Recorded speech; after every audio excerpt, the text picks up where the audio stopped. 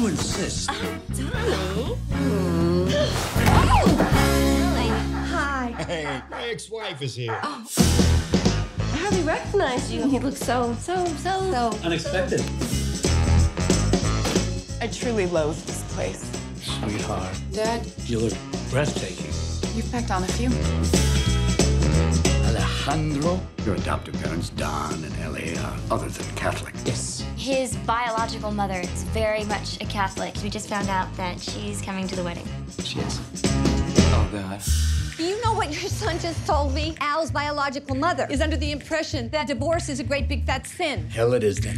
Hey ball. She gave up her only son so that I could have a chance at a better life. And now she left Colombia only to find out that I've been lying about being raised by heathens for the past 15 years.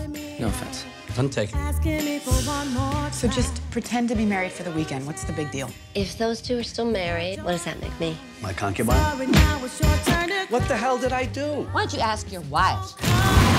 Guys! What? What are you doing? Estos son mis otros papás, Don y Ellie Griffin. Um, Estro, e casa. Mi casa And- is, uh, whatever. Qué casa tan elegante. Oh, you see, it's not. Re- oh, God.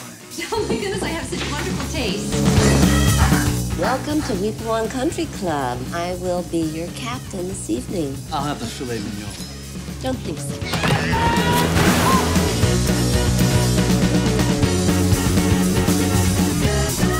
You know why I've stayed away from you for all these years? Because I'm your daughter. Jared got mom traits, and I won the lottery with all of you.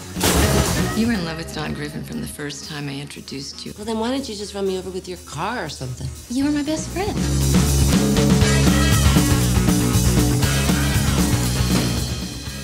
It must be very comforting to know that not everybody hates you. Would somebody just please punch me in the face again?